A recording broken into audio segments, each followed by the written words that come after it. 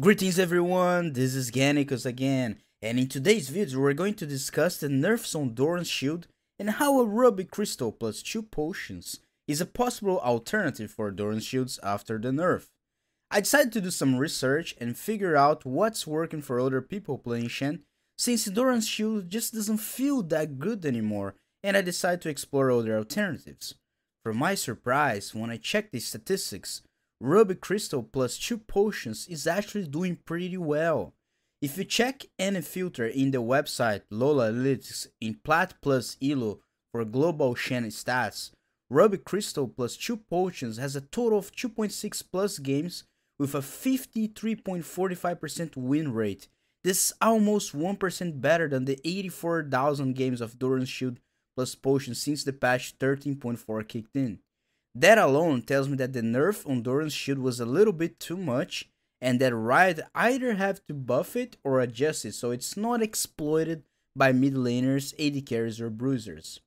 If you filter out Global Diamond plus Elo on Shen on EU West, in 212 games, Ruby Crystal plus 2 pots has a total of 56% win rate.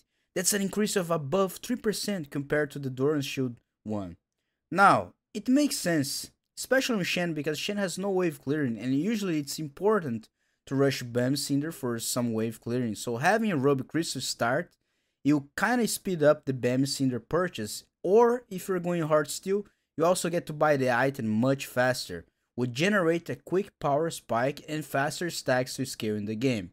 I decided to test it some games and here are some of my results. The first example, we try against Aatrox. Aatrox is a very challenging lane for a lot of uh, Shen players because he's a he's a melee champion that has a lot of sustain, has poke because of his range attacks on his skill, has a lot of CC, and he's very challenging, like I said. So I thought it would be like a a good try for the Ruby Crystal 2 potions because technically I would lose some sustain, right? But I was able to push the level 2 first, so I trade with him and here we both burn our flash so I decided to speed up a little bit.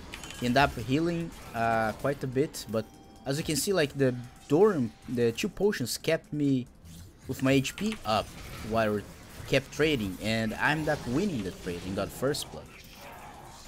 Now in the next example we played against Illaoi Illaoi is also considered a very strong lane uh, for Shen a Shen counter for many players but I, so I decided to try it out against her too. And I, 3-6 is your best chance to, to actually win this lane. And she even got level 2 first here. But I was able to use 2 pots, but I, I wasn't afraid to trade her. But as you can see, I'm healing. I'm still healing from those 2 pots. Now that I got level 2, I just decided to go all-in. I got a drag through, and then I just went all-in and ignite and finish her. And I was able to snowball the lane really hard. And the third example was the Camille. She initiates and with this with the shield and the stun. But look at the the potions, you know, like and I only use one pot here. I really think that the extra HP giving the extra shield makes you very tanky and strong. And finally against Tristana. In this lane I played like any other ranged matchup. I just like avoided getting hit and surprise her with a taunt under turret. So as long as you don't get hit it doesn't matter. As you can see, it did not really feel that the lack of regeneration for Doran's shield mattered that much. As a matter of fact, I actually felt better by completing my item a lot faster and that the two potions was often all I needed for the early level sustain. I think this could also be suitable for other tanks as well. Obviously, Doran's shield might still be better into some ranged or dot matchups like against Teemo.